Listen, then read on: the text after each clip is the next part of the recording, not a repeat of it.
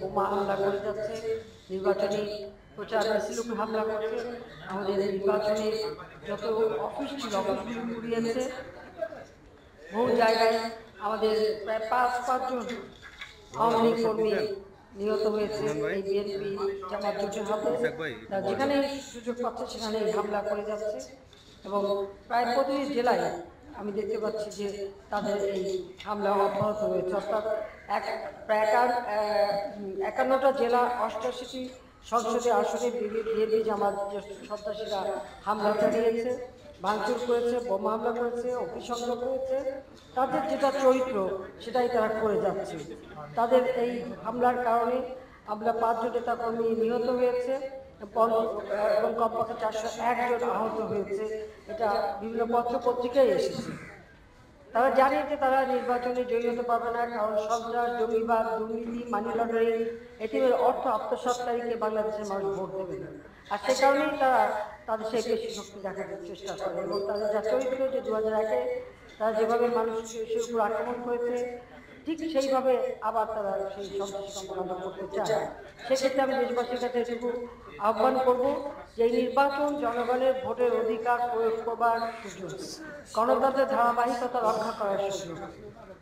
কাজে মানুষ সবাই যেন আপনারা যারা ভোটার, আপনারা সকলে ভোট দেবেন এবং ভোট আপনাদের মন মতো প্রার্থীকে জয়যুক্ত করবেন।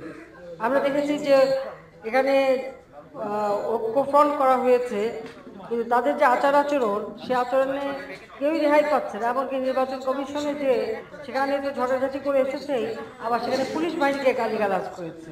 এবং যে ভাষায়, যে অকথ্য ভাষায় যে ঐক্যফ্রন্টের এখন যিনি নেতা আছেন, তিনি নাকি আন্ত- আন্তর্জাতিক খ্যাতি সম্পন্ন, কিন্তু তার মুখ থেকে এই ধরনের নোংরা গালি, এটা নিশ্চয়ই কেউ আশা করে না। তবু ওনার চরিত্র এরকমই।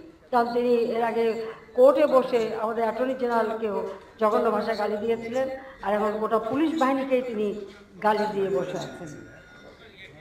তার আগে সাংবাদিকদের গালি শুধু না, একেবারে খামোশ বলে সাংবাদিকদের দেখে নেবে সেই হুমকিও দিয়েছে কাজে এই ধরনের আচরণ থেকেই বোঝা যায় যে গোটা তাদের ঐক্যফ্রন্টের নেতা কর্মীদের আচরণটা কত জঘন্য টাইপের। সন্ত্রাসী কর্মকাণ্ডে তারা যে একের পারদর্শিতায় প্রমাণ হয়।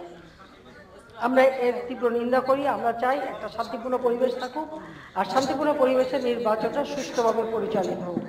ভোটের মালিক জনগণ, দেশের মালিকও জনগণ। জনগণ বেছে নেবে তারা কি ধরনের সরকার চায়, কাকে চায়।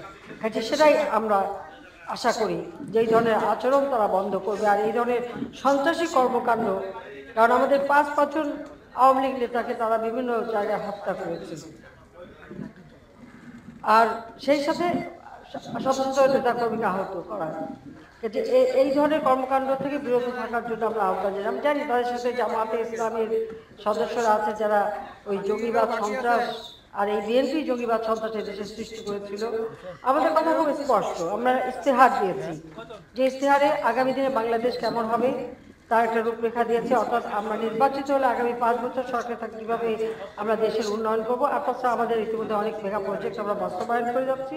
সেগুলি আমরা সম্পন্ন করব। আর আমাদের যে উন্নয়নের ধারা সে ধারাটা অব্যাহত থাকবে যার শুভ ফল বাংলাদেশের মানুষ পাচ্ছে। আর সেই সাথে সন্ত্রাস জঙ্গিবাদ এবং মাদকের হাত থেকে দেশকে আমরা রক্ষা করব। দুর্নীতি বিরুদ্ধে আমাদের অভিযান অব্যাহত থাকবে। তরুণ সম্প্রদায় তাদের জন্যই আমরা আমাদের ইস্তেহার উৎসর্গ করেছি যে তাদের জন্য একটা দেশকে আমরা আরও সুন্দরভাবে গড়ে তুলব যেন মুক্তিযুদ্ধের চেতনায় এই বাংলাদেশ ক্ষুধামুক্ত দারিদ্রমুক্ত বাংলাদেশ